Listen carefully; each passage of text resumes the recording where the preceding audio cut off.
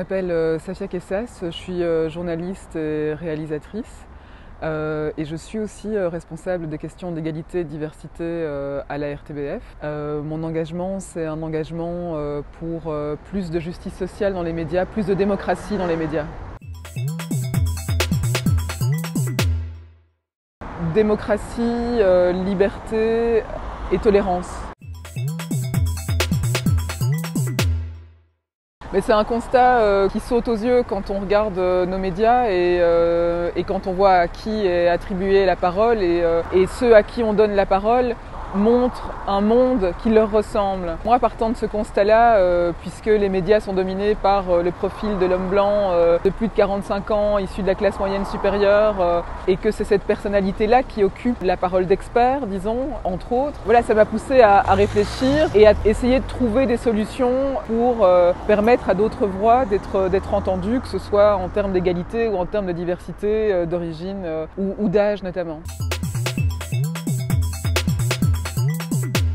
Une, réalisation concrète, par exemple, c'est de dire, OK, on a réussi à mettre en place, même si le projet euh, est encore modeste, mais il commence à avoir une certaine audience, et d'avoir mis en place Les Grenades, qui est un projet euh, féministe et intersectionnel, qui est estampillé comme tel et qui, est reconnu comme tel. Exister, de pouvoir avoir un lieu d'expression, que ce soit pour des associations euh, ou pour mettre en exergue des questions que personne d'autre euh, n'aborderait parce qu'on n'y pense pas, alors que ça touche vraiment euh, le statut et les droits des femmes, bah, je pense que ça c'est vraiment une grande victoire. Le fait d'être à l'antenne toutes les semaines en disant ok nous on accepte d'avoir euh, une chronique qui parle de ces problèmes-là toutes les semaines et qui touche un public mainstream, je trouve que c'est vraiment des victoires. Le fait qu'aujourd'hui la RTBF s'occupe de ces questions, que quelqu'un soit sur ces questions-là à temps plein, que par exemple mes collègues avant de composer des panels se demandent tiens est-ce qu'on est bien euh, en équilibre Est-ce qu'on est à 50-50 C'était pas le cas avant. Avant, on se posait pas la question. On pouvait se dire que l'homme blanc, entre guillemets, incarnait la parole universelle, alors que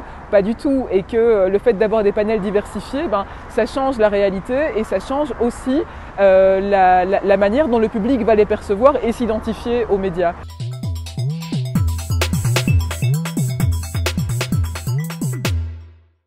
Parfois, ce sont les réflexions qui sont assez amusantes, parfois des, réflexions de collègues qui me disent, parfois dans une formation, euh, oui, mais tu comprends bien, moi par exemple, je suis journaliste et je travaille sur euh, une émission entre guillemets d'excellence, et tu comprends la diversité et l'excellence, c'est un peu incompatible. Et donc là, je me dis, ok, donc il y a un beau, beau travail de déconstruction à faire.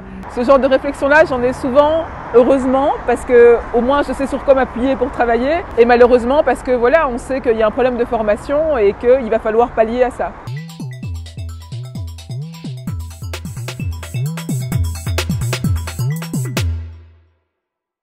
Il faut euh, de la pugnacité. Il n'y a pas de solution miracle. C'est un travail qui implique aussi euh, qu'on se fixe un cadre, un objectif. C'est euh, reconnaître que le problème est au niveau du système et pas des individus. Ensuite, il faut fixer des objectifs, c'est-à-dire qu'est-ce qu'on a envie de mettre à l'antenne et, comment. Si on n'explique pas qu'on a des biens inconscients, c'est-à-dire qu'inconsciemment on fait des choix d'individus qui nous ressemblent, ben, c'est difficile ensuite de changer les comportements. Donc à la fois, il faut un cadre qui soit entre guillemets légal, ou plutôt légaliste, et un travail de pédagogie et les deux doivent tout le temps être en balance.